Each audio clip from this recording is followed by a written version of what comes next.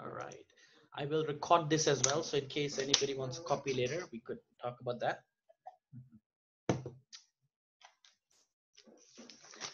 I think we have a good number. So what's going to happen first is, um, uh, let me just give you an overview, everybody, what's going to happen today.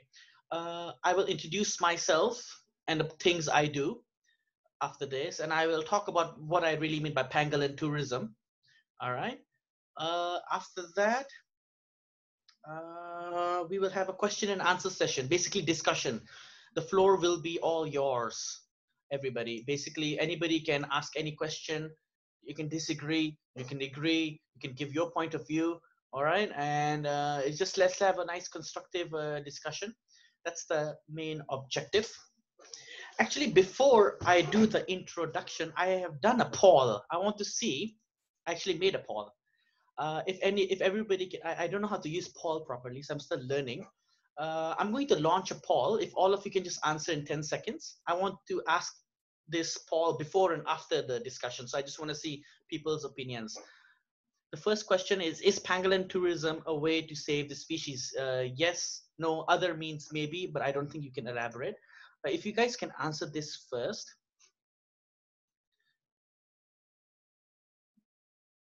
If you think pangolin tourism is a way to save the species,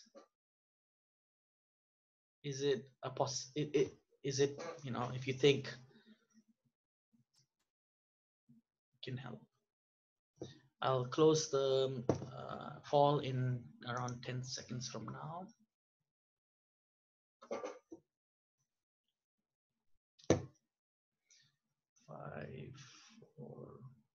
Three, two, one.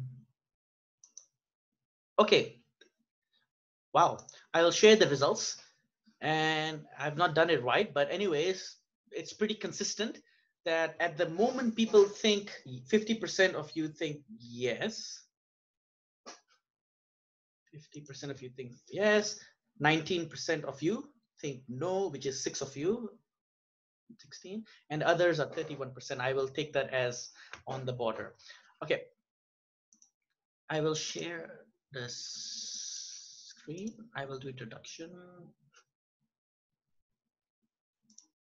um Wendy, can you can you uh, see the screen? Can you see the presentation? Can you see the logo? Okay. Okay, ladies and gentlemen, welcome to this discussion today. I am so happy that we have people from all over the world today, from the United States, from South Africa, you know, we have people from Ghana, we have from people from Middle East, we have people from India, we have people from Pakistan, Malaysia. You know, this is amazing. Uh, I'm sorry, I can't name all your countries. We have people who work in NGOs, travel companies, and plantations. We have professors here. This is perfect. This is great to have people from uh, a wide scope of people. So great.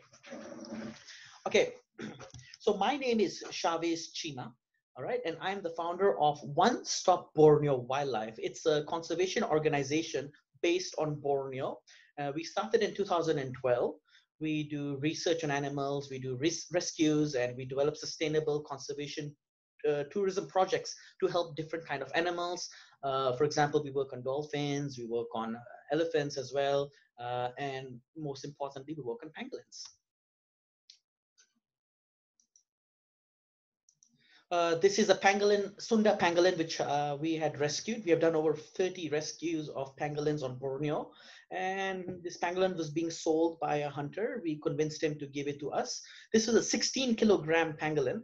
So we were very happy to have it released back. Um, so as you all know, pangolins are usually uh, hunted for the scale, you know, and and the meat as well. That's very sad. I'm not going to go too much into detail because you guys know more about pangolins and the threats it's facing.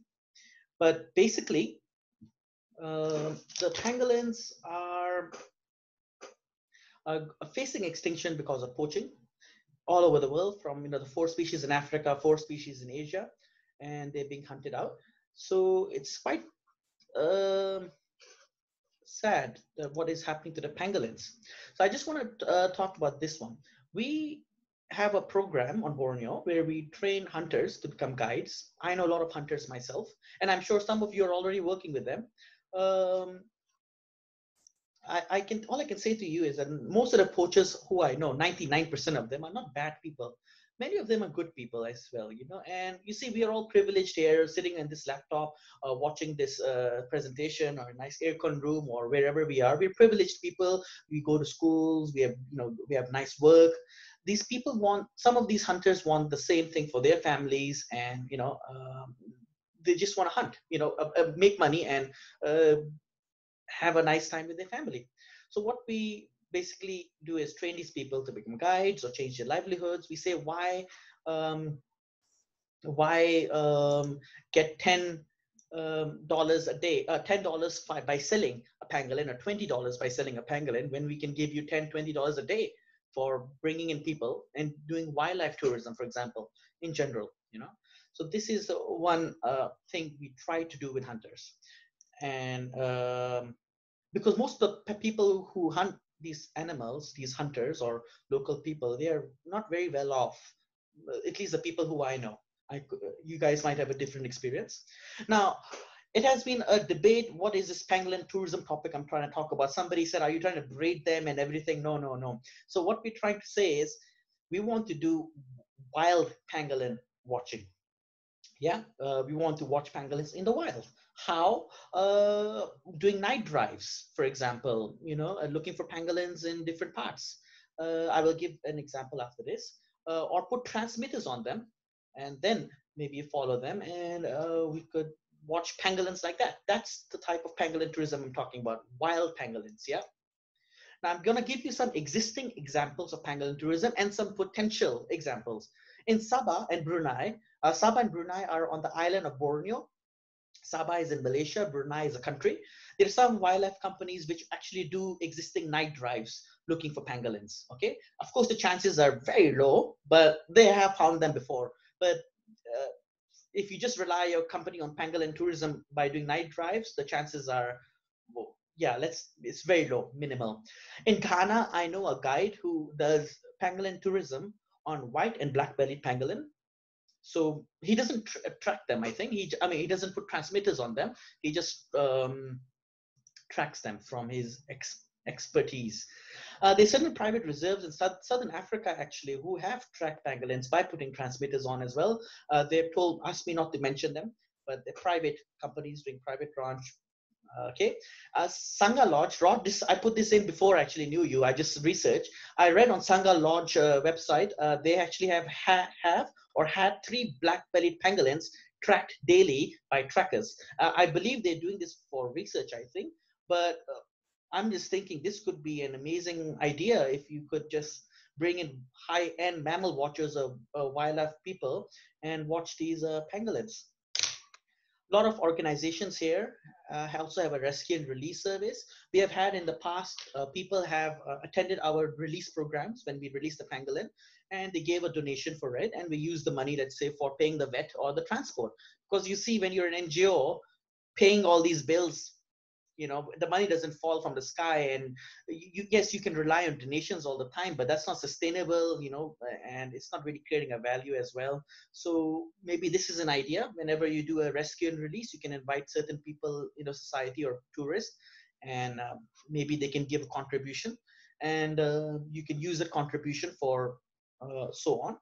Researchers researchers are let's say on there on Borneo, for example, there are people who are tracking pangolins for research in Africa as well, in other parts of Southeast Asia. Could you imagine if um, uh, these researchers who are tracking them allowed visitors or tourists to come with them, and you know the money could be used for their research or you know hiring local people and so on. So these are some exist, existing examples of pangolin tourism happening around the world and potentials. Now, this is the type. So this is a pangolin we tracked once and we, we it was a rescued pangolin by the way uh, so we put a transmitter on we did it uh, with certain pangolin researchers and we tracked it successfully for a week and it was great but it was too it, was too difficult in the borneo rainforest the canopy being thick and we didn't have enough money and time basically to follow it all the time but it was possible, but it was very labor intensive, at least on Borneo. My friends from India and Pakistan and uh, in Namibia have told me it's easier over there because the canopy is less thick in certain parts. Uh, these are certain comments by pangolin researchers. One is from Nick. He's a quite renowned uh, pangolin researcher from Taiwan. He his comment for he couldn't maybe attend this uh, session. Maybe he is actually here now. He said the idea for pangolin ecotourism for me is that we train, we can train the local people to monitor the pangolin behavior, example burrow usage. Once the local people can monitor the surrounding pangolin populations, they can use this skill as an attraction for an ecotourism experience. Jennifer Lawson says, if pangolins can be tracked by researchers for science, why not tourism? Uh, the following is my opinion humble uh, opinion, two cent. Local communities which are hunting could use this new incentive. This will pump money in the local economy, hire local people. Research is important too, you know. Uh, but I think pumping in the money, pumping money in the economy, like tourism, could be very useful. An anonymous researcher who doesn't want to be named, he told uh, me that if scientists can track for research, why not for a bigger purpose, job creation, creating positive value for pangolins, and it's working in some areas.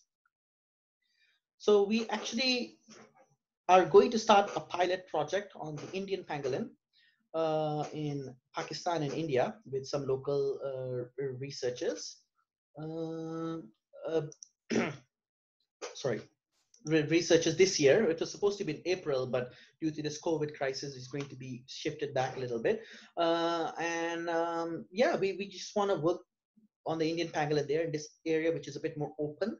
And uh, the pangolin in that part of the world is being affected big time because of China has invested 60 billion dollars uh, on this uh, new highway and Silk Road in that area. So the trade has gone mad. So we're going to kickstart the project over there. If it's successful, we might do domestic tourism or you know uh, bring in mammal watchers from all over the world. Second phase will be in Borneo if it is successful. Um, some people said, uh, who wants to see a pangolin? A lot of people don't even know if a pangolin exists or what is a pangolin. But I can tell you there are wildlife watchers out there and mammal watchers out there who would come and see a pangolin. Um, basically, in conclusion, what I wanted to say was the pangolin tourism, which we're talk, which I'm just talking about, is wild pangolins. Most of them are released pangolins, rescued, uh, released pangolins. We could put transmitters on them. We could follow them in the wild we, nobody's we're not going to disturb them if if there is a let's say a tracked pangolin we track it. If you see it from a distance or you know we, we will not disturb it. Take a selfie or a picture. It has to be it has to be done properly. It has to be a proper sop it has to be ethically done. Uh, they have very strict rules and it's not mass tourism. This is niche tourism and high-end wildlife tourism. This is the idea. I've given some examples of um, pangolin watching which is happening right now and the potential which is happening right now. This is all I actually wanted to share. And somebody wants to join. Basically, yeah, that's the idea. Now, okay, uh, I, I think uh, all these questions in there. I'm not, okay, what we're gonna do is now the floor is open. Anybody can ask a question agree, disagree, have their own opinion, or want to share your experience. You know, so if uh, yeah, uh, Wendy maybe can go first, uh, as she has raised her hand. And hi everyone. Um, just to introduce myself, I'm Wendy Panaino from South Africa.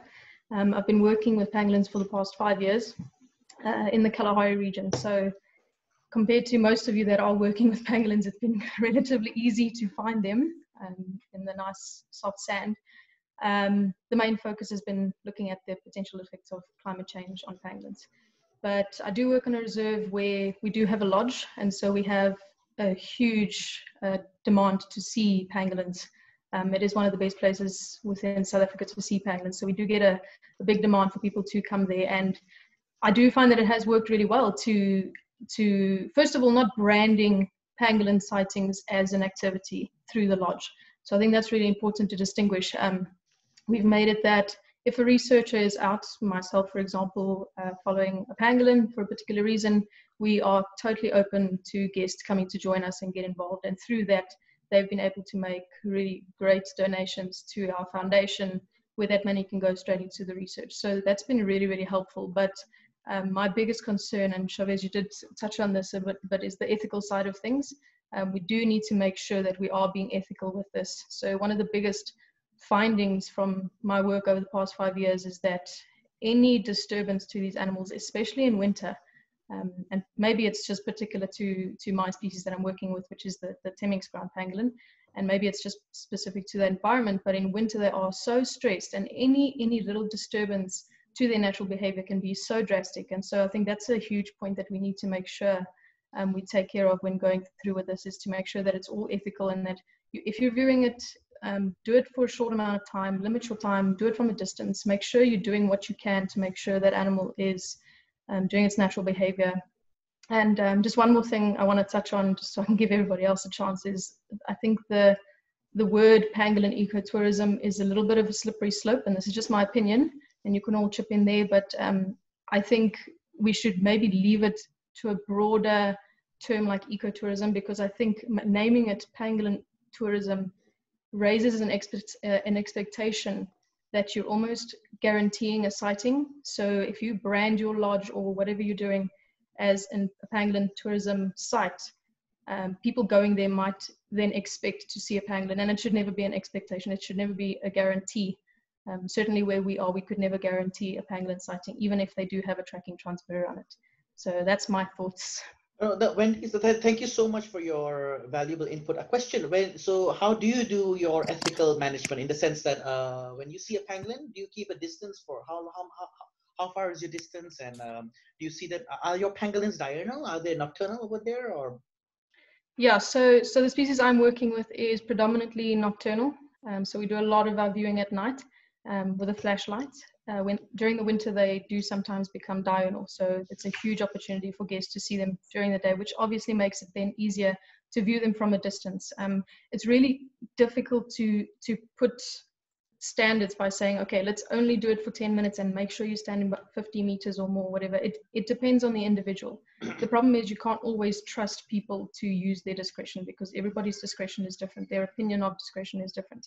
So you really need to gauge it depending on the individual pangolin itself. Um, I was chatting to Rod earlier today saying, you know, each individual pangolin does have its own little personality. And so some are really bold and you can watch them for hours on end. They're walking around doing their thing. You're not stopping them from doing anything.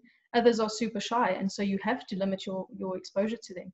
And so what we've done is, is in terms of my project and, and wanting to get as much data as possible, um, a gradual habituation program, uh, kind of not program, but um, procedure where you just spend an hour with them every day until they become so accustomed to you that they're mm-hmm. doing whatever they want to do. But but when it comes to tourists um, and people coming from the outside, you don't, you you just want to minimize that impact as much yeah. as possible. So stand as far as you can. If you have a sighting, that's great.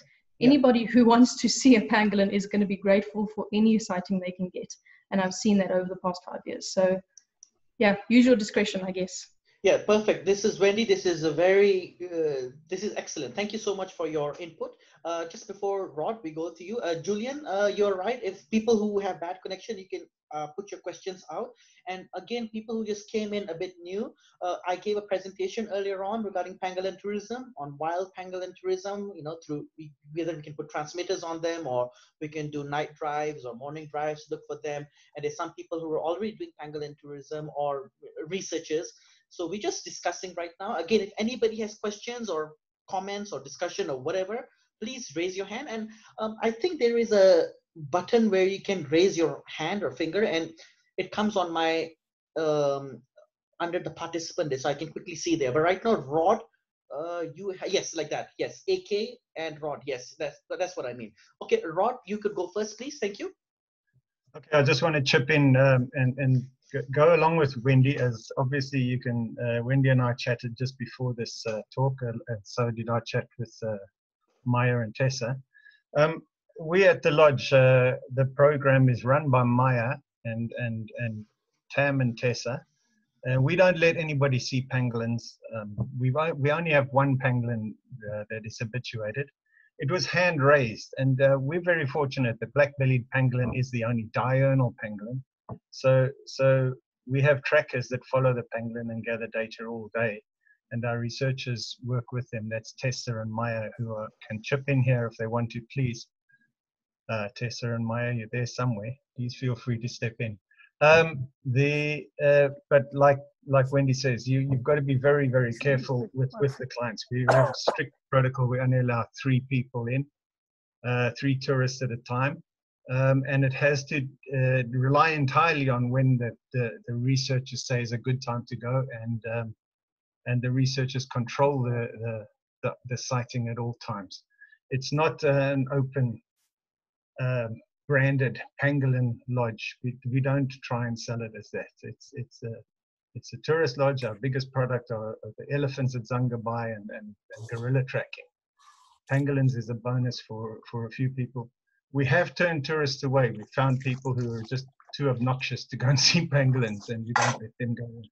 Uh, so yes, I think it's it's a good thing to be able to to have a habituated pangolin that people can see but um, but they get disturbed really really easily and and i don't think i don't think you can you can um, predict that um, the other that's our black bellied pangolin white bellied pangolins we know we can find them if we do night walks and, and we do that occasionally but then also you don't want to disturb them too much so it's a sighting now does a sighting make it a pangolin tourism product because on that same night walk you would have seen potto palm civet, several species of galago, maybe a genet or two.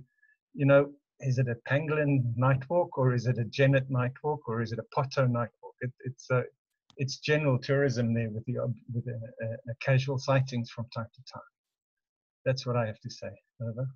Um, Rod, thank you so much for your comments. Now we're gonna wait if you, maybe your colleagues want to add on. By the way, Rod, how did you do this uh, hand feature? so others can learn as well. How did you do that?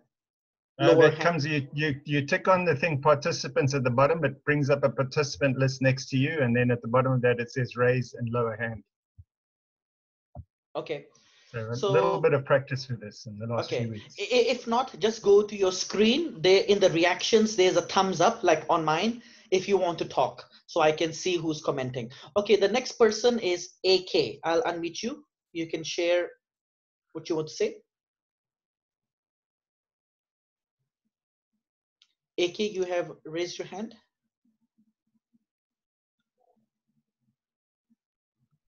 Not anymore.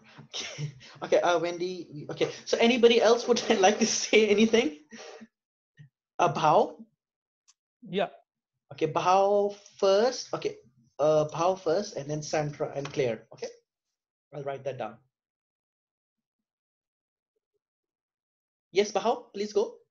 Yeah, we are working in Maharashtra, India for last three years for Indian pangolin. And, and uh, in last three years, we never seen the pangolin in wild. So this uh, idea of uh, pangolin tourism is very good.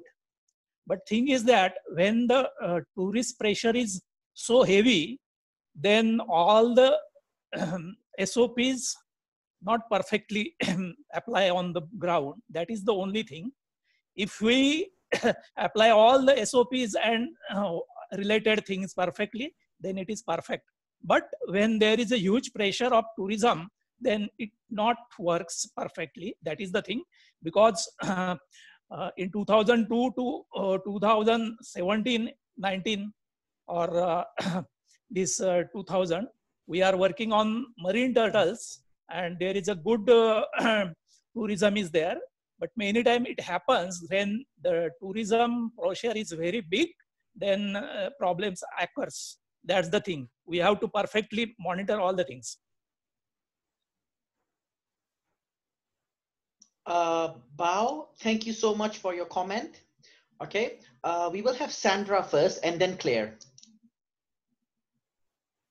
Oh, you hear me? Hey, hey there.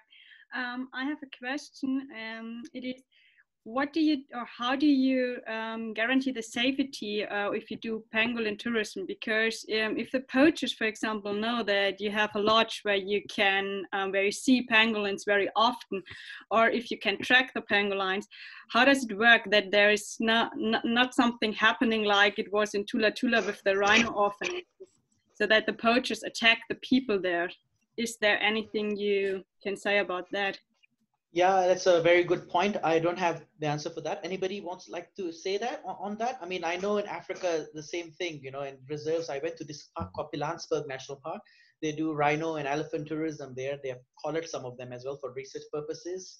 And the threat is that the poachers come in by helicopters because they know this is a very good place to see rhinos and they shoot them.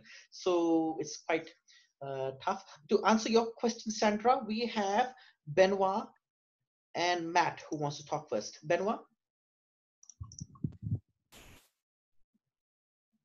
Yes, uh, sorry. It's just just to add something to uh, to uh, uh what uh, Sandra just said. Uh, it's actually a question. I mean, um, how do you guarantee when you're using hunters for tourism? How do you guarantee that, for example, during the crisis like the current one with COVID-19, where you can't actually provide any any work to that uh, hunter, how can you guarantee that that hunter is not going to go back to the forest and hunt pangolins to get a living? Very good question, Benoit. anybody would like to say onto that? All I can say to that one is very true. They're hungry, they'll go back to the forest, they'll hunt as well. But all I can say is another thing, due to this pandemic, of course, tourism industry has kind of collapsed at the moment, but due to this pandemic, the governments all over the world have no money right now, and their conservation is last of their priorities. So conservation in general is struggling. Poaching is increasing everywhere, and I don't think so. I think it's a very complicated situation. But yeah, Benoit, it's a very good point. Anybody would like to say to that? Uh, I, I think we'll go with Claire first. Or not, not on that. Okay. Would you like? Uh, would you I like can to say chip in something if you want. Uh, Rod wants to say something first. I mean, eh, who wants to answer Benoit first? Yeah, the question by Uh, Benoit. Rod. I mean, our our trackers are all Ba'aka people. They're they're um, they're they're all hunter gatherers. They they're not commercial hunters. They just hunt for a living.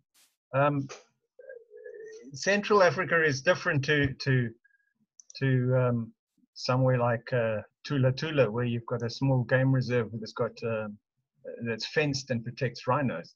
If you, if you look at our at our area, we've it's it's many hundreds of square kilometers of rainforest that are full of elephants and pangolins and all sorts of other things as well. So so they're not going to say, oh, we've got to go to my lodge and and and find pangolins because they've got pangolin tourism there. There must be lots of pangolins. We, we don't know how many pangolins there are in, uh, in the forest. We don't know what the density should be. Um, if, before before there was any form of poaching, we, we just don't know. But um, but I don't think they're going to single out the lodge. They're going to actually avoid the lodge because there's people there. They're going to go into to forest, vast areas of forest where there's no people to to to continue their hunting thing. But our hunters, they're very simple people. They're not um, they're not sophisticated hunters. They're the most beautiful people in the world. They they hunt in the purest sense of the word. They hunt for food. They don't hunt for anything else. Um, that's that's what I can say where we are. Uh, in in areas with high populations, I can't speak for those. I don't work there. Luckily. Okay. Thank you, thank you, uh, Rod. Uh, we'll go with Claire first, Maria, and then Matt. Claire. Um, yeah, hi, good afternoon, everyone. Um, I, I guess uh, the conversation is a little bit moved towards um, uh, the, the whole guide and hunter conundrum. Um, I would say just very briefly on that, that I think that what COVID has really highlighted, and we knew this anyway, that tourism is very susceptible to shocks. And that can be from terrorism or it this pandemic. And conservation wildlife protection relying solely on tourism does not have a huge amount of resilience. So we need to think quite widely about that, whether we're talking about species protection or area protection. Um, and Kenya's really facing that issue at the moment um, with this COVID 19 shock. Um, uh, we ran a small research project down in the Masai Mara, and I just wanted to go back a little bit on the conversation around uh, research and tourism as a product um, or pangolin tourism as a product and just some of the complications that we found um, as a research project. Um, and kind of the lessons that we've learned i think touch on some of the conversations that being had before. Um, the first thing is that um, we ran a research project in an area that has some of the highest density of game of elephant and lion populations. And as a result of that tracking pangolin um, and pangolin live um, really closely within these areas. Um, tracking pangolin has its own risk to it. I know everyone has risks working in these areas where there's other wildlife. It doesn't open up a huge amount of problems with tourists as well. Um, and as a result of that, I think, and this is one thing that I haven't heard said, is that um, we absolutely categorically say it cannot involve vehicles um, for the reasons that Wendy says around um, around disturbance to pangolin. And that can create quite a lot of issues um, and quite a lot of limitations to tourists and, and people joining us um, when we're doing some of our research and tracking.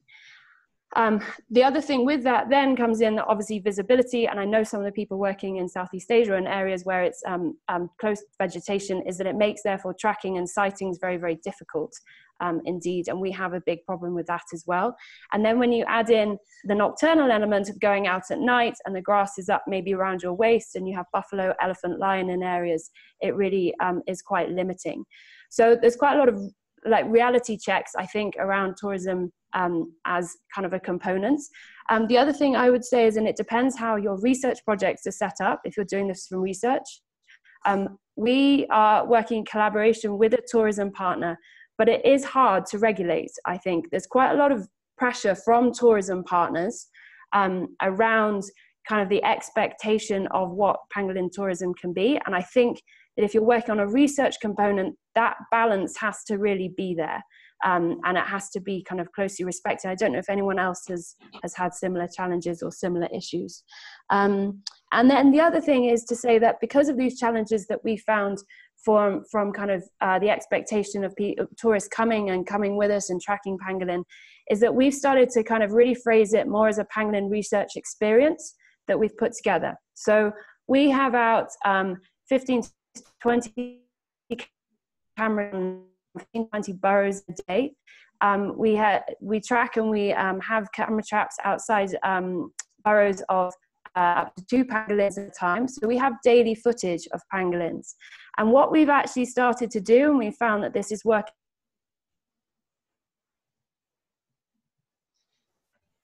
Claire, I think you have. And then they have. Uh, okay, now, now sorry. can hear you. Yeah, can now can hear oh, you. sorry. Yeah, so sorry, we have tourists that come out with the team and they um, join the team in collecting the camera trap footage. And the team goes through a whole thing about pangolin habitat, about um, where the pangolin are, and then the tourists then basically get to see all the camera trap footage and also the satellite tracking information from the night before. And so in that way, we've managed to manage expectations a lot, um, a lot in a, in a lot more manageable way and also manage expectations. And I think it's really also added to the experience of information about pangolin um, rather than the focus just being on seeing a pangolin at that particular time. Um, yeah, so that's kind of some of our experiences that we found. Fine, fantastic. Thank you. Uh, thank you so much, Claire. Uh, before we go on to the next few people, Elliot Frost has to say people may say that ecotourism is vulnerable and the situation we're all right now in is an example of this. However, the trade in commodities and stocks also face the same issues. Markets and industries all fluctuate depending on the supply and demand, and so surely it is better to invest in protecting and conserving as opposed to continuing the degradation. An example of this is oil. This has been one of the most lucrative stocks of the century, yet here we are in a time of crisis that's completely collapsed. On our tra current trajectory, oil reserves will have run out within the century, and so their value have to begin to dry up. However, wild species and rich biodiversity will continue to hold its value. So this is by Elliot. Uh, we'll go to Maria first. Maria Dick, Dicknam, Dickman, Dickman.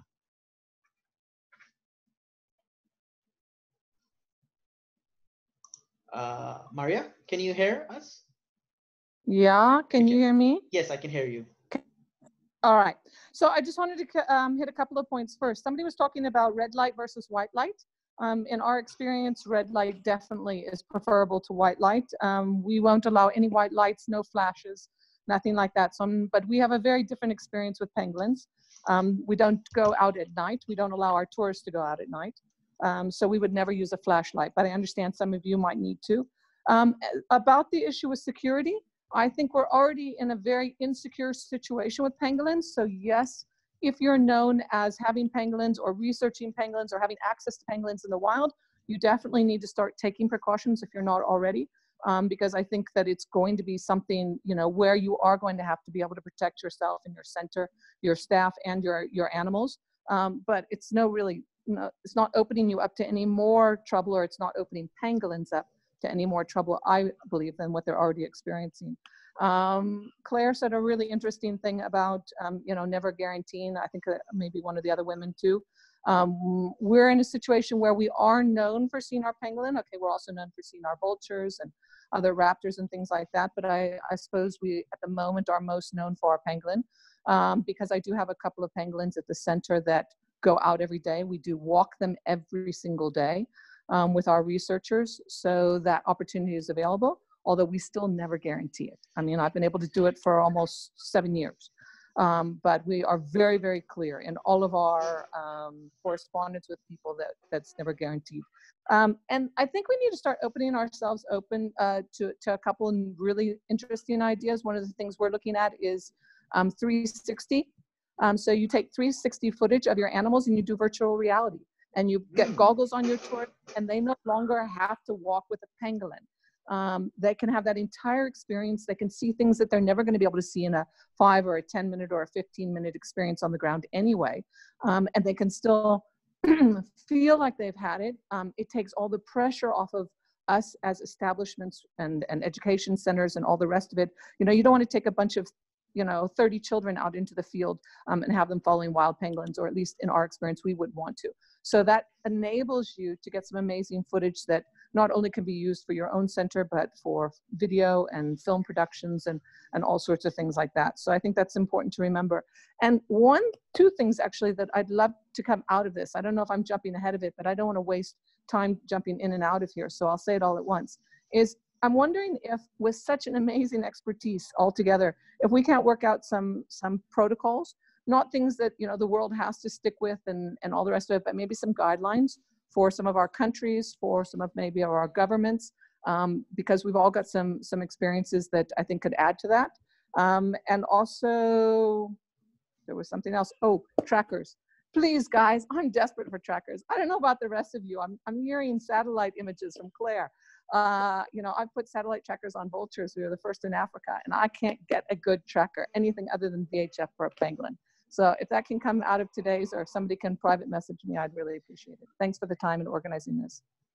Um, Maria, thank you so much for your comments, and I agree with the tracker bit. I also I, I would be interested in that too.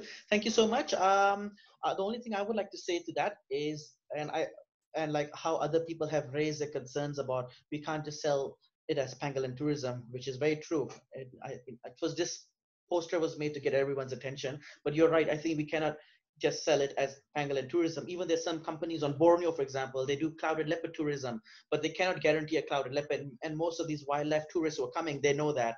So they also see other wildlife as well. But the point is, the money is being pumped in in the economy. Local people are being hired, and it's a great thing. But no, we have to be very careful in that. And thank you, Maria, for that. Uh, the next person is Matt. Matt, could you unmute yourself perhaps? Yeah, thanks, Chavez, and hi, everybody. Um, so there's a couple of things that I, I see as falling out as very, very interesting in this conversation. Uh, the first is that um, everybody's remarks seems to really highlight and underscore the fact that even though we all refer to these things as pangolins and, and do very kind of group and lump statements and conversations, there is a shocking amount of ecological and behavioral diversity amongst the eight species. And I think a lot of the statements that people are making, whether it's you know SOPs for following animals and protocol and, and tourism research, or the threats uh, from poaching, and all of a sudden publicly alerting you know people to the the presence of pangolins at your site are going to vary so much from species to species and context to context you know where the the poaching strategies and and the drivers in southern africa and east africa are substantially different than you know what rod was highlighting in central africa for example which are substantially different again from what we experience in west africa where you know people know where pangolins are. The, the strategy for amassing pangolins is is through kind of individual hunting events, uh, just accumulated over time to to kind of uh, mass up tons and tons of scales, that sort of stuff. And so the threats are going to be different. And the other thing that, that kind of falls out to me that I think we need to spend a little bit more time talking about, whether you know for pangolin tourism and even for research for that matter, is um, there seems to be a lot of statements being made about the impact of pangolins and pangolins are very the impact on pangolins. Pangolins are very sensitive to this and pangolins are very sensitive to that but it seems like we have a real deficit of actual scientific data supporting a lot of those observations you know. No one's really done at least that i've read not many scientific studies on on you know let's say stress hormone reactions to encounters with people. And you know, you know uh, with black-bellied pangolins and you see them sometimes and they remain frozen for hours and hours at a time until they're sure the threats have passed. I mean do they literally just get up and kind of carry on with their lives afterwards? And have we actually disturbed them any more than say you know a predator a chimpanzee or a you know a, a big raptor or whatever would have as well? Um, and so you know this is not this is not to advocate that we kind of go forward on a, on a yahoo approach and do things all willy-nilly. It's just to say that i think we do at some point in time need to recognize the species diversity we're talking about. I think we need to recognize the environmental and social context context diversity that we're talking about. And I think this is actually probably a very good platform from which some of us can go forward and start to gather data on some of these questions that might be able to define SOPs in a in a much more you know um, um, objective and rigorous way. Matt, thank you so much for your um, insight and your comments, your feedback. It's re really interesting, and thank you so much for that. Um, we'll go to Ellen first, and then we'll go to Wendy, and then Maria again. So Ellen, could you unmute yourself? Hi all. Um, yeah, thank you for this um, incredible platform, Chavez. It's giving us all an opportunity to have our proverbial five cents worth, and yeah, a nice uh, controlled informal platform. Thank you. Um, for those of you who don't know, my name is Ellen, and I'm from the Tikki Hywood Foundation in Zimbabwe. And um, to give you a bit of background, I'm going to try and keep it very short. Um, we're on pangolin number 220. That is Temminck's ground pangolins. And that is the rescued number of animals since January 2012. So I can comfortably say that we've had a fair bit of experience with this species. I'm going to echo a lot of what Wendy said. They are quite sensitive. Um, we don't conduct any form of tourism whatsoever. We're not even open to the public as an entity. We do rescue and rehabilitate other species, but we are not open to the public. And to be quite honest, my, my frank opinion on the subject right now is that I'm scared we don't know enough about pangolins yet in order to make these informed decisions. So definitely echoing a lot of what Matt is saying, there's a lot of lack in the scientific arena, but we're running out of time and it's like a double-edged sword because on the one hand, you have to generate funds to do the work, and you also have to educate people. But on the other hand, you've got an animal that's super sensitive. Um, we haven't even touched on the subject of zoonosis yet, and I know that's probably worth another meeting altogether. And I just feel that, um, yeah, I, I totally agree that protocols need to be designed, but they're going to have to come from the people who are experts in those species. And that in itself, I think, is going to be quite a big task. So for me, for Zimbabwe right now, the kind of tourism I'd rather promote is more broad spectrum tourism. The park that we work in is home to the big five. There is no ways in hell I will take any tourists into the park to see pangolins with me because I will be sued. There'll be the, things will happen to them and I will be sued. So that certainly is not an option for us. I'm not saying that um, that needs to apply across the board. I understand that there are different circumstances for everyone, but certainly for ground pangolin, for myself, and for where we are in Zimbabwe, it's not really an option. However, the, the 3D, um, the 360 stuff that Maria was talking about, and certainly, um, Claire, the, the kind of stuff you're doing in Kenya sounds groundbreaking. I think that's really fantastic.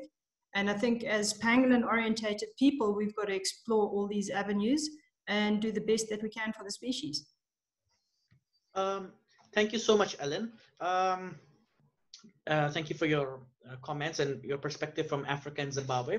But you know, I, I, have a question. You know, I mean, your foundation, for example, where does your money source come from? Not being not being a busybody, no, no, just no, asking because uh, because some some organizations might want to do this uh, concept of you know uh, pangolin tourism in the sense to fund their projects. You know, not everybody gets donations and so on, and they want to be sustainable and hire people. So um, I just want to know. I agree. Yeah, I agree. Look, um, we come. We we one of the longest standing. Um, I can say this comfortably. Pangolin orientated groups. I would say definitely in Southern Africa. We we were started in 1994, and our founder Lisa Hywood actually got her first pangolin in 1992.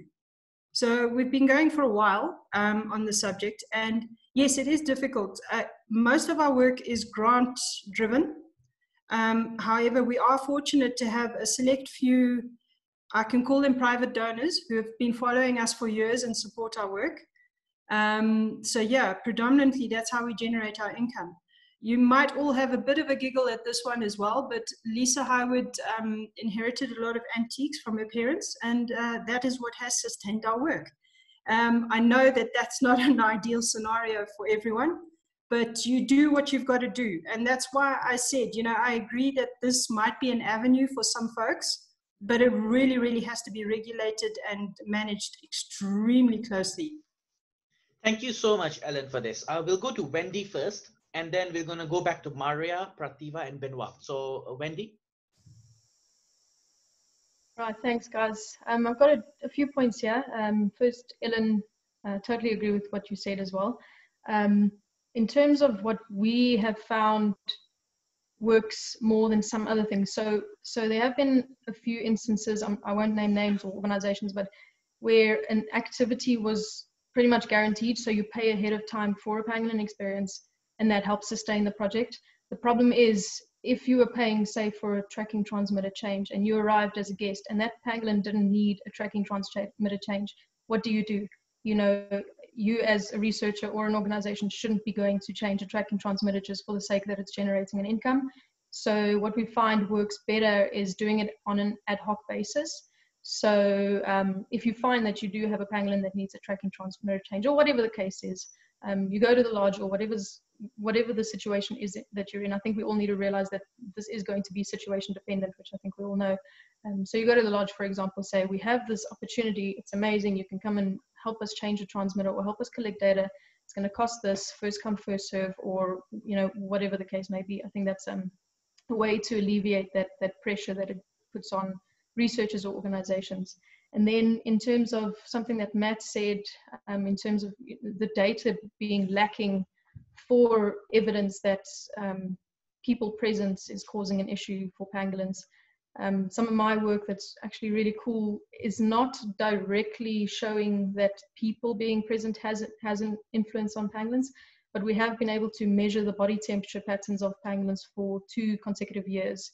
And that is just showing how stressed these animals, again, guys, I'm working with one particular population, one species in one area, so it might be very different elsewhere, but we are showing in um, in certain, certain circumstances, especially when pangolins don't have access to food, the, the body temperature patterns are crazy and it's just, it's not healthy for a pangolin to be experiencing that kind of thing, especially when they're becoming diurnal in the winter or whatever. And so I think um, the same can be applied to tourism presence is if an animal is not feeding, you are directly causing a problem in that animal's welfare. And so we try and minimize that from that perspective. But I'm still busy writing the PhD and the papers. I'm not the best writer, so guys, please be patient. It will come out soon, but I will have a whole management implication side as well as a guideline side. Um, just by the way, someone else brought that up as well in terms of guidelines, um, uh, a section on guidelines, but again, for that particular species in that particular environment. Um, so hopefully that will help. And then one more point was that um, someone brought up the idea, I think it was Maria, um, of VR this is a great idea, I think, and I have first-hand experience with that. We had a team called Habitat X, if anybody's interested, who came and did a beautiful film on pangolins using that 360 VR footage, and it's just it's unbelievable what you can experience just you put these this headset on and, and it's like you have that pangolin right in front of you and so that in itself can generate a lot of ecotourism without you having to interrupt the animal itself um, on the ground um, okay i'm going to leave it there Thank you, Wendy, so much for your again information, and um, do share that VR video perhaps. And somebody asked when your pub, uh, paper will be published, and yeah, again, it's very uh, good perspective on that one particular species. You know, may not be applying to other species which are more tropical or you know so on, but no, it's still very uh, very relevant and so on. And yeah, I think most wildlife companies or mammal watchers, if you do they do sell a product of anywhere whether it's a snow leopard trip or a gorilla trip, you, you should not guarantee and it should not be just around there. They should know that you're, you know, if you don't see it and, and we have to be careful. And I think all these rules and regulations have to be enforced and told to the visitor in advance. But thank you, Wendy. And yeah, do share when your paper is out and your video as well. I think the next person will be Mar- Maria and then Prativa. Maria, could you? Okay. Yeah, can you hear me? I just wanted to say something in regards to Matt's comment. Um, we have been doing some researcher research with the Johannesburg Veterinarian Zoo.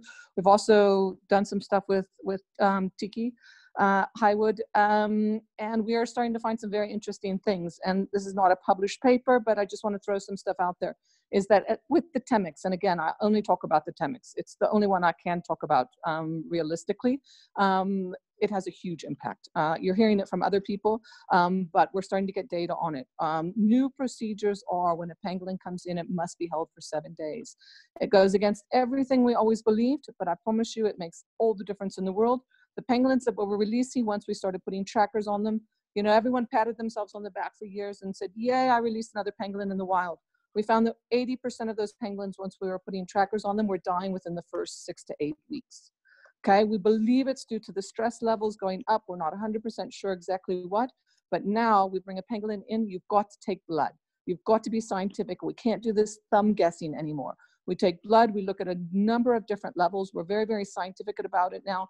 And within seven days, almost every pangolin we've been able to release. And we've been able to change that from an 80% decline or, or mortality to an 80% success rate. Um, and from that, we've now in the this year, the last six that we've released, we've had 100% success rate so far. And that was during one of the worst droughts in recorded history in our country. So definitely, I think with wild ones, we have to be incredibly careful. I'll stand back. I, I know some people in Namibia. I know, well, sorry, I know one person in Namibia. He's not on this chat group that's been incredibly successful um, doing tourism and wild ones, but it's incredibly limited. And he's probably harder on himself than any of us can ever be um, with his interactions and things. But I also know of another couple of organizations that are wanting to get into the tourism aspect for financial reasons um, and could be pushing those boundaries um, a little bit rough for our pangolins. Um, the second point I want to make, and again, I'm only really talking about Temminck's, but just an inkling that I got is that tree pangolins are so much more adaptable. They, they're just more adaptable to everything. Um, when I had this chance, I don't know if anyone is here from Save Vietnam's Wildlife, but when I had a chance to visit them a couple of years ago, we had a pangolin come in with, with, with a leg missing. And that pangolin had been traveling in a bus, I think for three days. Um, they gave him food and he started eating. I can promise you that Cape pangolin would have been dead within 12 hours, um, and he certainly wouldn't have eaten food within the first seven days.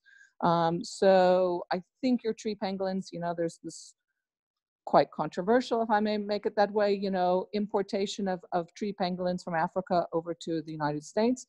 Um, I, I don't know, I'm not an expert on exactly how well that's gone, gone but I, I, I, suspect it's gone better than if they'd taken ground pangolin or Temminck's pangolin or Cape pangolin. So I think, you know, the, some of the people that you're hearing about from Southern Africa um, were really, really foot. We're really, really careful with our pangolins because I think they are probably the most sensitive. Um, usually anything that can handle arid conditions is more sensitive than those species that can't. Um, so I think you guys, you know, over in Asia, in, in North Africa, Central Africa, even are probably dealing with, with situations not quite as, as detrimental to the pangolins as ours. And I think we in Southern Africa have to be open to that. Thank you, Maria. That is a very good comparison there you have done as well in your input. Thank you so much for your uh, insight. Uh, we'll go with Prativa next.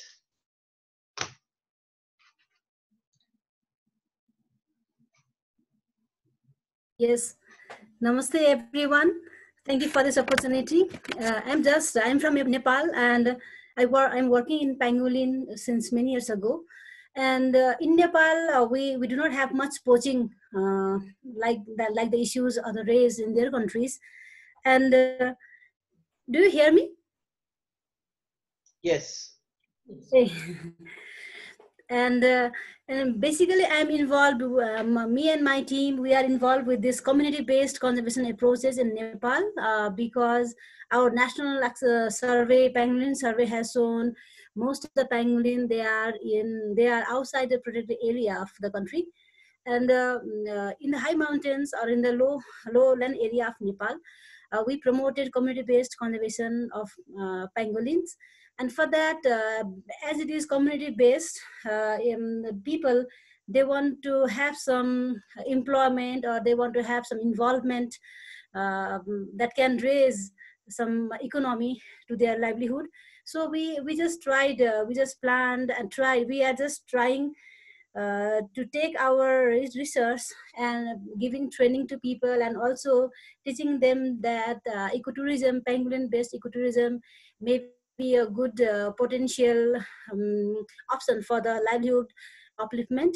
But for that, as we uh, do care with pangolins, they are very super sensitive. So uh, what we have tried is we we trained ecotourism as an important package, but but uh, beside uh, directing to the pangolin, we also blend with other natural scenarios, or we don't have we don't have set like pangolin-based ecotourism we have said ecotourism, but uh, there is a possibility of pangolin uh, just roaming around the jungle. We don't have that sort of uh, technology here in Nepal. So uh, basically, we um, we have just um, trained the local people identifying the burrows, identifying the resting and the active burrows, its footprints like that.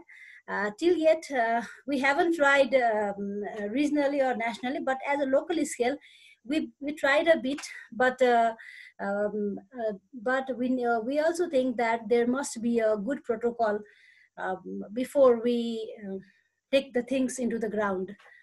Um, and also another case is, uh, uh, I do agree with the other, I do agree with the other people. Uh, we have we have camera trap the species um, and we have found the species in the wild, but um, uh, in, in my opinion, this pangolin uh, tourism can be a um, option for Nepal because we don't have that much poaching in the in this country, and also uh, uh I hope there are some there are many areas uh, with pangolins in Nepal, but however we do lack some basic research on pangolin, so it might be disastrous if uh, if we do not follow any protocols and but um, I'm enjoying. I'm listening to all of the um, our participants and their valuable comments and their feedbacks. So we, we can also have some insight on that. And actually, I'm also uh, enjoying this uh, discussion, and I would like to thank you uh, for this uh, discussion program. Uh, okay. th thank you so much. Thank you so much, Prativa from Nepal from giving your for, for, for giving your uh, experience and your concerns and your feedback. Thank you so much. Um, benoit you raised your hand earlier on. Do you have something to say? No no more. Okay he's taken down. Uh, next one is sean actually on my list sean do you still have something to say I think Sean is not around at the moment. So we'll go to the next one, Matt. Matt Can you hear me? Sorry. Sorry, we'll go to Sean first. Sean is there. Sorry, I apologize for that. Uh, I pressed the wrong button.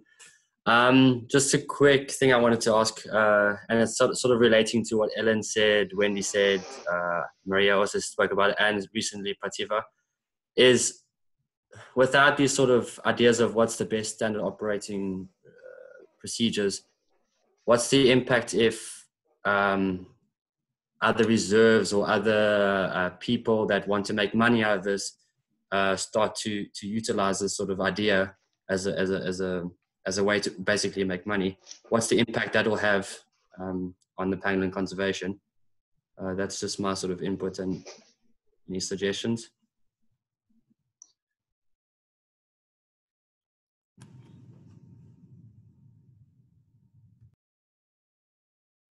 Sorry, sorry, can you just repeat that question? Sure, sorry. So, um, with these sort of, uh, uh, I, I, see there's a lot of uh, important conservation programs and researchers working on, on, on pangolin tracking and maybe utilizing it as a way for tourism. But my question is if you have people that are less interested in uh, looking after pangolins or um, utilizing it for the correct means, uh, without these standard operating procedures, what's that impact on, on, on, on pangolin conservation going to be? Um, Sean, I, am just going to give you my opinion on that one. I think that is the problem we I think we have discussed. I think if pangolin tourism is done right through proper SOPs and through proper, let's say, min, uh, managed participants, I think it's a great idea. It's helping the economy, hire local people. But of course, if it's not done right, then it's problematic. And I think that's my opinion. If anybody wants to stay, just raise your hand and we'll still go on the order. Um, uh, the next one is Matt. Thanks, Chavez. Uh, Maria and Maya and Ellen and, and all of you guys, Wendy, that largely work with rehab pangolins. I mean, this, this question is kind of for you, but I think it's a general observation. I think a lot of what we know about um, pangolins and their kind of response to interactions with humans is thanks to the good work that, that you guys are doing with rehab, rescue, seizure pangolins, which are oftentimes exposed to a significant level of stress prior to even coming into your programs. And you know they've been captured they've been manhandled. You know they have not been you know, t- you know, handled delicately the same way we would if we were doing it for capture for research. You know they've been stuck in the the boot of a car in a, a wheel hub for days dehydrated um, et cetera et cetera. And i'm wondering how much do we think that those observations and their reactions to further interactions with people actually apply to let's say the research pangolins that have only been uh, touched a single time and then had you know less less quote unquote stressful interactions because we're not out there to kill them or to wild pangolins in general you know just an animal out there foraging that we happen to come across who gets a light shined in his face for a few minutes to a couple hours whatever it happens to be. And i'm i'm wondering if we're risking confounding the, the the two the two populations let's say. And, and I, I do agree with you that pangolins are sensitive and the evidence is overwhelming from seized pangolins and rescue pangolins that there is a high probability they're gonna they're gonna die. They don't respond well to captivity like all those sorts of things. But if we're talking about tourism on wild pangolins what are the crossover messages really thank you matt for your um, question and comment uh, we'll go to the next person elliot frost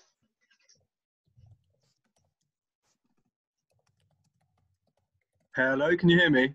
Yes, Elliot. Hi, um, great points from everyone so far, but on a slightly different note. Um, so we're all aware that pangolins are heavily trafficked due to the value they command in the illicit wildlife trade.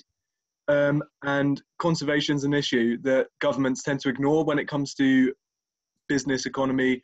Uh, and so, in my opinion, if you're to get their attention, there must be a value attached to it. Obviously, a lot of us as um, researchers or scientists or just wildlife enthusiasts, I suppose, um, we don't see it like that. But I, I think it's very different from their perspective sometimes.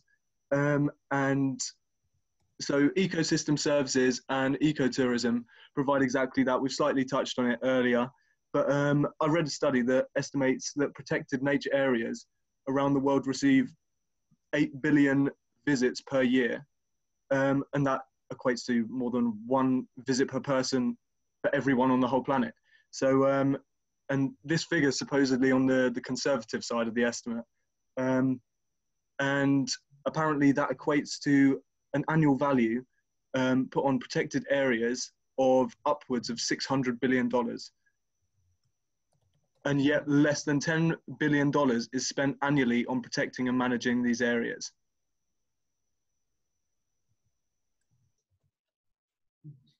Thank you. Hello. Thank, yes, yes, yes, Elliot. You can you still hear me? Yes, we can hear you. Yeah, we can. oh, okay. You. I thought the signal went a bit funny. No, no. You um, can so I was just wondering. I was just wondering what people's opinions are on on this matter, um, because obviously, the true value of um, the wildlife isn't being reciprocated with the spending of the governments in their protection. Um, so maybe ecotourism could provide this boost to their value um, which would help us save the species. Thank you, Elliot. Thank you. And you know, in some countries, I think around the world are already using ecotourism as you know an important part of their GDP. For example, Costa Rica, you know, and a few other countries out there. Uh, if anybody wants to answer that, you can continue after this. We'll go to Stuart first. Ronald Pablo Stuart. Hi, can you hear me? Yes.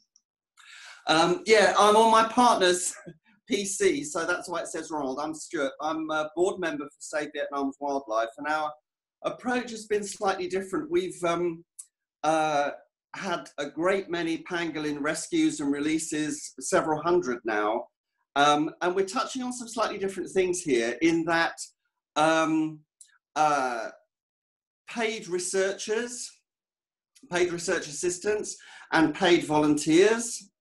Um, we, uh, in the National Park at Cuc Phuong, our paid volunteers are going to get an experience with our rescue pangolins because we have so many. If they're fortunate, and some of them have been, they've been there and been able to participate in pangolin releases, which is very labor intensive for us. It can involve a lot of animals. Um, but again, the expectation is not that they will always see wild pangolins, they most certainly won't but part of their time spent with us as a paid volunteer or researcher is that they do have the opportunity to have night tours in the forest. It's a national park. Um, and the funding that we've got from those paid positions has been critical to us. But what it has done is the people that have done that have become wonderful ambassadors and fundraisers for us ongoing.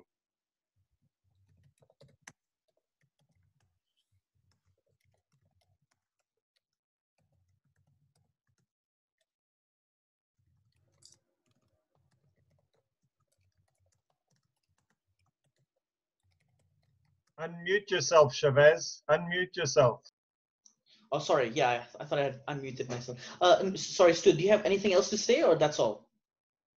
No, I'd finished. It was just um, we've had a different approach to raising money. They they are eco-tourists because they're traveling to work with our pangolins, but it's for a very specific purpose in a very specific way. Um, I mean, um, paid researchers as a way of fundraising has been around for a long time for a, a, range of projects. Yes, thank you. Thank you, Ronald, for sharing your experience in Vietnam. I'm and, Stuart. Sorry, uh, this is four times, I think. Sorry, sorry, Stuart. uh, thank you, thank you, Stuart, for your uh, experience in Vietnam. We'll go to we'll go to Marja next. Marja, Marja. Yes, hello everyone. So I'm working with uh, Rod and Tessa. Uh, yes, I just wanted to address the point in terms again on the stress level uh, when um, uh, observing pangolins and uh, especially on Maria and Matt's comments.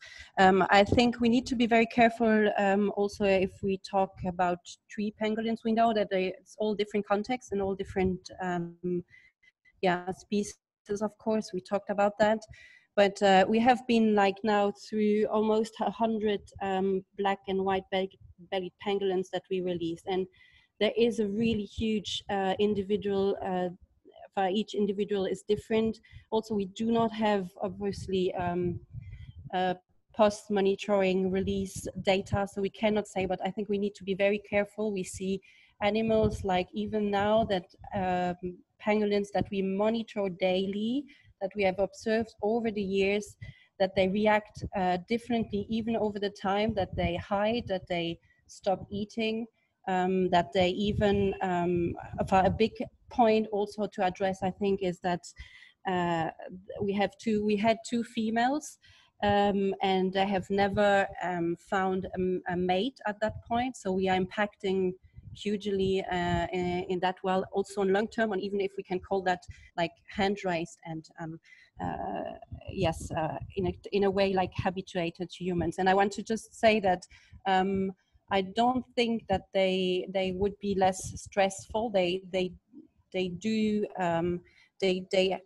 open themselves after a few days but it depends uh, to towards the take the caretaker but they they they respond very individually and unfortunately we do not have especially for the black-bellied pangolin any uh, method like monitoring or tracking method at uh, at that point. So I think there's a lot to to discover, but uh, I think we need to be careful in uh, in addressing that the tree pangolins may be less or more easily to um, to yeah habituate. that was my point. Thank you, thank you, Maja, for your input. Uh, we'll go to Emilia. Hello. Um, I was just wondering whether certain pangolin species lend themselves to tourism more than others. As like Muriel was saying, that the maybe the African pangolins are slightly more sensitive to the Asian pangolins, and therefore the Asian pangolins could be a subject to this tourism without it being as much as a threat as the welfare may not be as much in danger or threat. Yeah. that does it. okay. Thank you. Thank you, Emilia. Thank you. Uh, next one is Hong. Uh, actually, it was Wendy. Wendy, did you raise you? Did you raise your hand earlier on? Do you serve? Okay. Uh, okay, we'll go with Hong Ying Lee. Yeah. Um. Can you hear me well? Yeah. Okay. So, hi everyone. I'm Hong Ying. I'm from. I work for Eco Health Alliance we have been doing like wildlife zoonotic disease surveillance, but we work in China and my colleague Jimmy is here from Malaysia. Um, first of all, I want to say um, I kind of envy you guys because you're already thinking about the tourism for pangolin because according to my experience working with Chinese pangolin in China, tourism is not an option at all now in China. But this raises another question, which is when we should be considering developing this tourism for pangolin, like what evidence we can base. For example, like the population population density, like how many pangolin we should have in a, a nature reserve so that we can start thinking about having this tourism thing. So I just want to, and also like um, I don't know other country, but in China, all the natural reserve is belong to the government. When we do the tourism, we have to work with the government. How can we make sure those money go to the volunteers, the hunters, and uh, the permit thing?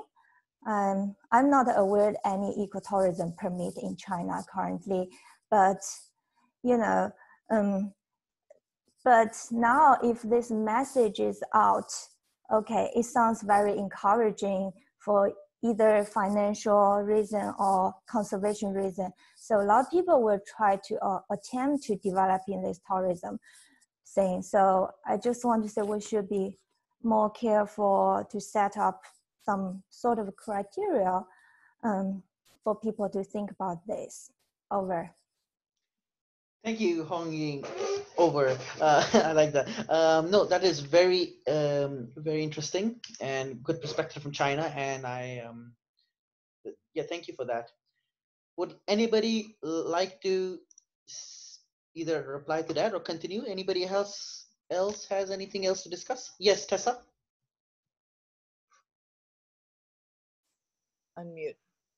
Uh, yeah, thanks. So I just wanted to uh, say a little bit more about, um, provide some more anecdotes about our experience, which, I mean, from this discussion alone, it's clear that there are, you know, it's context specific. We're dealing with eight species, each different and each uh, little known actually in terms of their responses. And so because we've been used as an example for the potential for tourism, uh, I think it's important that we are um, explicit that we don't have any intention of continuing this. I mean, we have uh, Koki, the black-bellied pangolin, who we are monitoring every day, and we're fortunate to have Baka trackers who are committed to the project. This is their livelihood. They're not going to do anything to jeopardize that.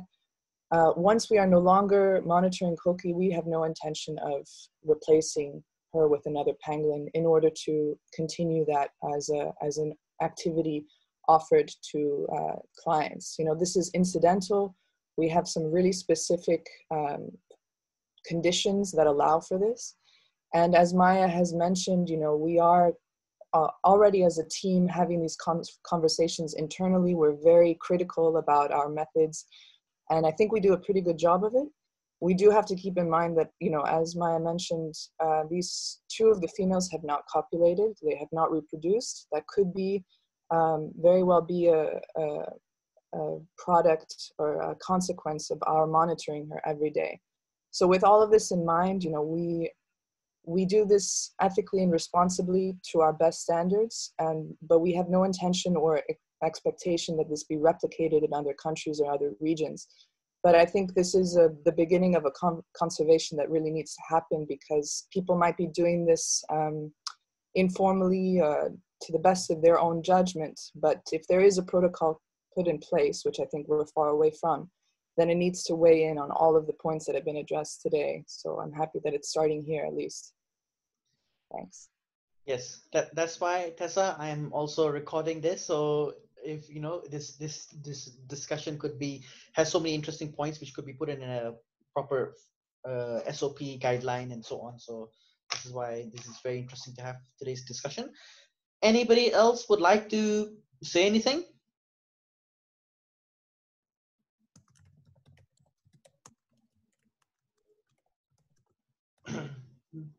Any comments? Any questions further?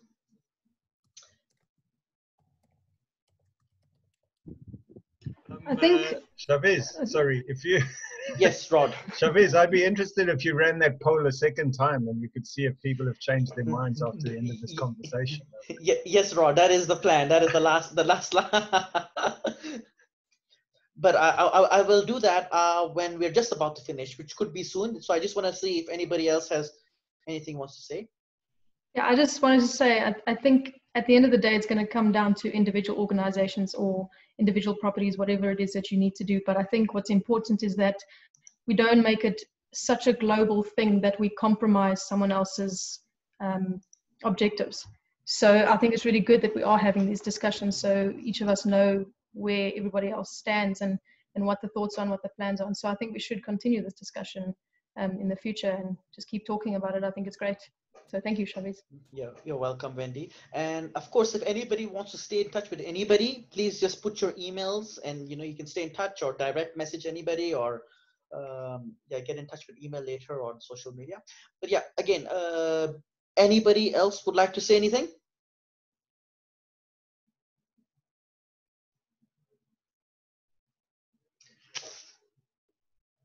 Actually, Yes, I, Ben. I just have one last comment or question, and sorry, I can wait after Benoit. so I'm him raising his Okay. hand, being very polite. Sorry, Benoit, you can go first. Yeah, sorry. I just wanted to ask about this idea of, of tagging of tagging your pangolin for tourism. This is, I mean, uh, yeah, I'm a bit confused because this is something you presented in your presentation, and uh, and uh, if this is something that you're thinking about, uh, this is something that will really need to be discussed, uh, obviously in Sabah.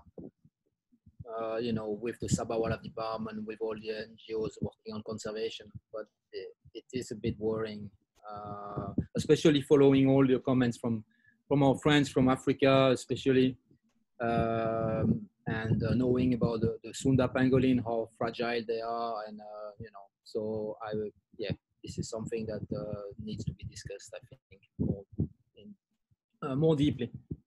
Yes, of course, Benoit. This topic has to be discussed more deeply, you know, especially if it was being happening in Sabah or Borneo. Uh, you know, then of course all the relevant agencies will have to come back on the table. But based on my presentation, the idea was is that a possible way to put transmitters on pangolins and track them because you know it can create jobs it can pump money in the local economy it can change perceptions of local people it can educate people. So it is so you know and like i said if researchers are doing it for research purposes we could do it for tourism purposes. But of course that's the point of this today's discussion. Is it viable? Is it happening already? What are people's concerns? That's why everybody has given their own feedback of their own projects everywhere. And you know that's what we have written down. So we just this is just a discussion uh time No, I agree, and that's why I'm asking and posing the question. But I mean, you showed a picture of of uh, of actually a, a tagged pangolin and someone tracking it. So I was wondering whether you know, well, you did it. Uh, it seems that you did it uh, already, and did you have a permit from the wildlife department, from SABC, etc. I mean, from the Sabah Biodiversity Center.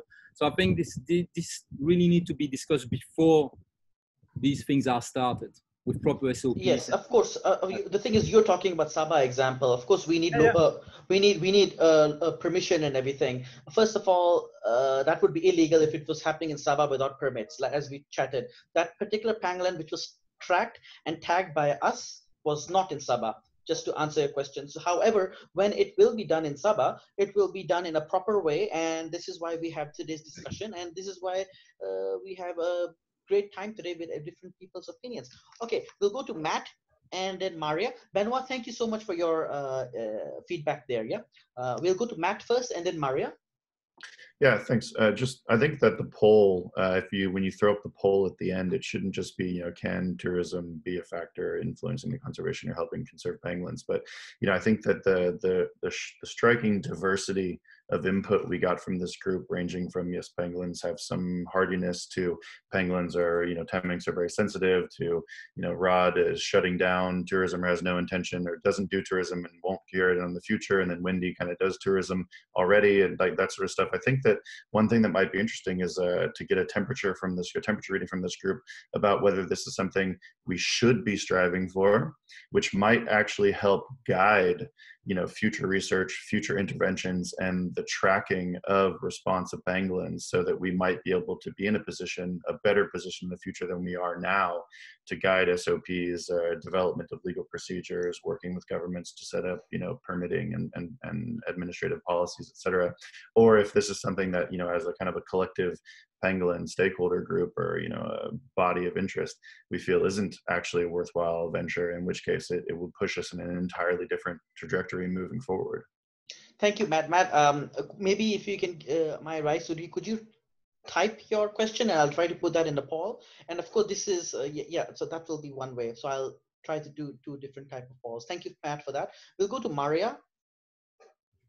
Um, Benoit, I just wanted to say something to you or to anyone that has the same concerns because I think I tend to be quite conservative, maybe like you are with with pangolins.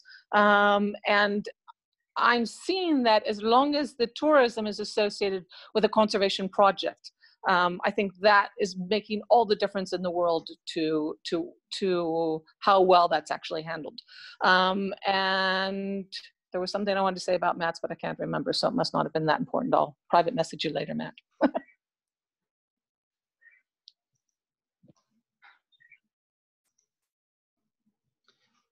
Um, anybody else would like to go next?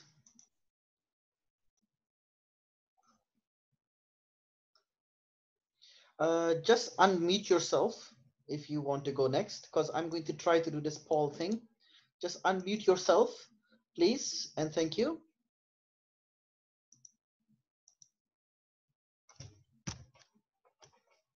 If anybody wants to say anything, just unmute yourself, please.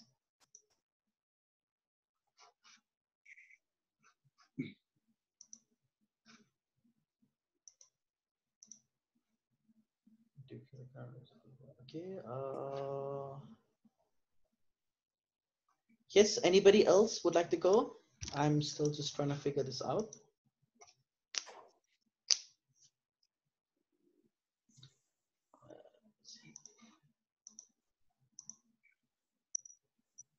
I think Matt, I'm struggling a little bit by because I'm still new to this Zoom thing.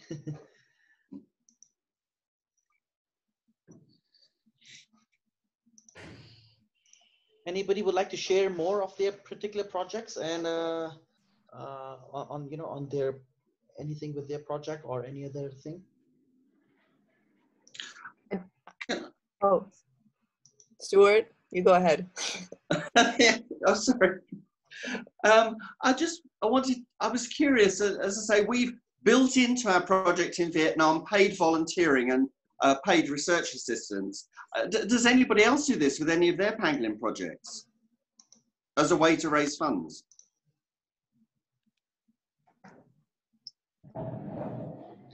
If anybody wants to answer that, just unmute yourself, please. We we've never had paid volunteers. We've got volunteers as such, but not paid volunteers. Tessa is a volunteer.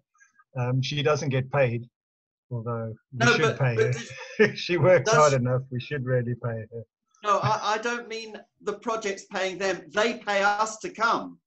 Oh yes, I know that. I know that. Um, no, we run a tourist lodge, and I don't want to deal with uh, with a, with with 15 uh, graduate students, young young graduate students, or pre pre university students in my lodge. Thanks. No, I, I like I like mature students who've at least got. Well, I think in, in our experience, in our experience, our our volunteers have been very responsible, but they're very well briefed before they come. Yeah. Yeah, I know, and I think Cuc Phuong is in a different environment, and there's a bit of more social life and a bit more opportunities for for, for students out there. Um, I, have been to Cuc Phuong, um, and it, it's a great place, but um, it's it's quite a lot different to us. Where we are is very very remote. Uh, the nearest th- village is ten kilometers away, and uh, yeah, it's. I think and certainly what's that, come out of this is we're all dealing with very different situations. Exactly. Yeah. I, I would like go. to just, oh, sorry, Rod. No, go go. Uh, I, I, this hasn't been uh brought up, and it's not exactly the point of the conversation, but just out of uh, point of interest, all of the unprecedented discussion around pangolins as of late, obviously because due to the pandemic, it would be interesting to see coming out of this um, whether there will be a, an increase in demand from tourists visiting countries, pangolin range countries that want to see uh, pangolins in the wild, and if that is something that organizations will have to individually respond to. Um, and I guess uh, I'm just curious to see if that's that's gonna happen in the coming months once tourism operations open up. And also, sorry, one thing, Matt, you're asking two really interesting questions, and I wonder if in the chat box, and I wonder if maybe this can be put forward in the email uh, listserv around this event that people can respond to in um, in their own time. I think the idea was also for Chavez to do them as part of the poll at the end of the session. yes, yes, I'm uh, I'm almost there. I think. Uh, let me see. How is it working? I think I'm almost there. Oh yes. No. Uh, it should pop up now in a second. Mm, Not really. Mm, I tried my best. I'll try one more time. Ah, ah, okay, okay. Okay, before we finish, mm, before I do the poll, before I do the poll, I just want to say um, mm, thank you again, everybody, for making time to come today. You know, again, people from all, you know, all over the world, from Africa, from Europe, from the States, from Malaysia, Southeast Asia, you know, and uh, everywhere, and India, and Nepal. I just want to say thank you so much again for your invaluable feedback, input, your suggestions, your experiences, everything. All right. And I will record, I have recorded it. I, I think so. Yeah, I have recorded it. if anybody wants a copy, uh, just tell me later, or I might put it on YouTube later. Um, I just want to summarize some of the things which I remember.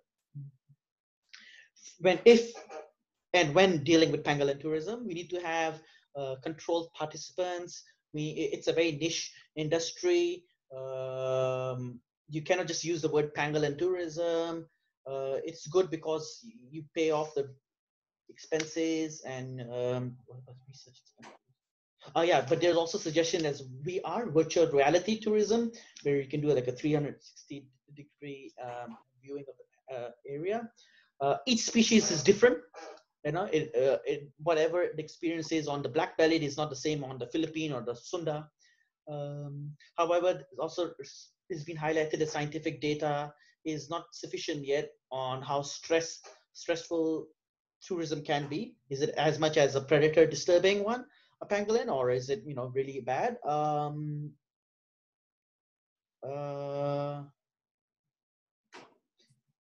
yes and then also that how it is it can be potentially good that you know money can be used for uh, uh, for the research or creating jobs and for look for changing perception. These are just some of the thoughts okay? Anyways uh, i'm going to go to the poll. I have three questions now two by matt. One is the original one and i'm going to launch the poll now. Yes the poll, poll has been launched. You all have around 10 seconds or 15 seconds to answer, and then I'll share. No, actually, I'll make it longer, actually. Uh, sorry, because there are three questions now. The first two are Matt's questions.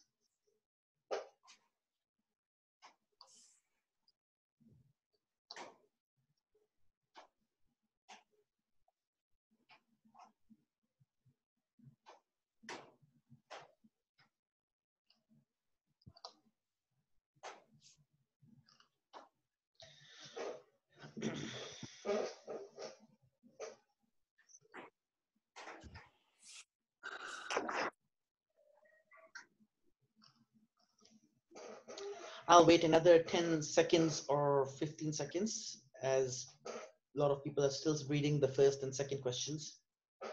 First question, so. It's starting to stop.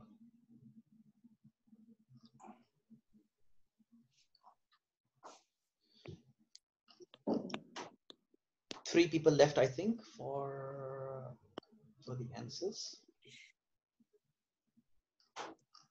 Two more people.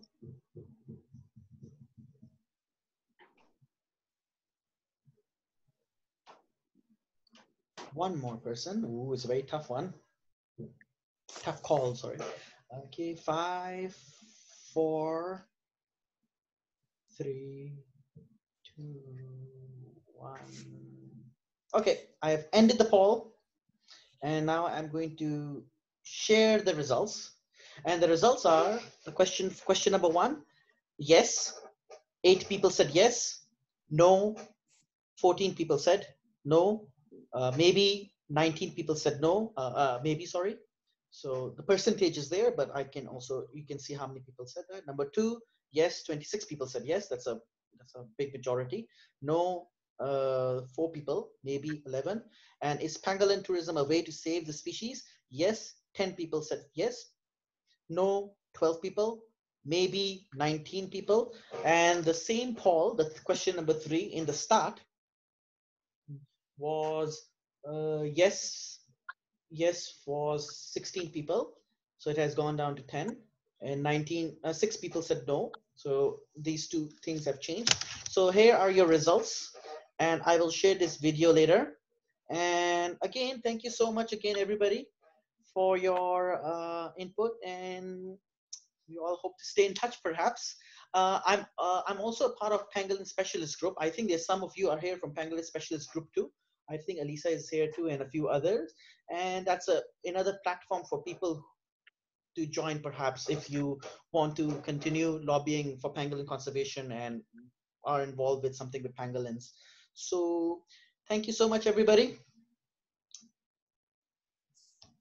Have a wonderful day, evening, night, morning, whatever you. Thanks a lot, Shavez. Thank it was you. a great talk, great meeting. Thank you, Rod. Thank you, everybody. Okay, I'm. Thank you very much, Shavez. It was really great. Thank you. Thank you, Stuart. Thank you.